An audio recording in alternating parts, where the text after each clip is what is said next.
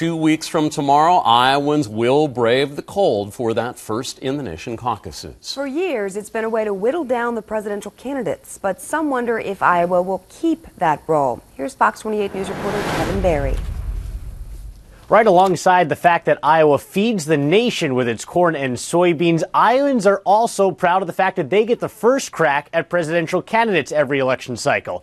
The question is, are they the best ones to do it? If you see any candidate speak in the Hawkeye state, rarely will they escape from even their own events without Iowa questions that can be tough as a cold wind on an empty cornfield. I think it's time to start attacking uh, Mr. Obama The saying number one selling point is our citizens take this seriously. They show up at events, they vote. Iowa does a really good job of this. This is not passive what we do. We do this, people take their time and they go to different events and they see different candidates and they look them in the eye and they ask them really good questions. But Coe College political science professor Bruce Nesmith isn't quite as sold. I don't know that Iowa is particularly good at this, other than maybe we've done it so long. Um, and we have to, to see how the, the, um, the, the, the caucus votes actually come out. But the polls look pretty much like the national polls, so I'm not sure that there's anything special about Iowa. Nesmith says there are definite advantages to the Hawkeye state getting the first crack at presidential contenders.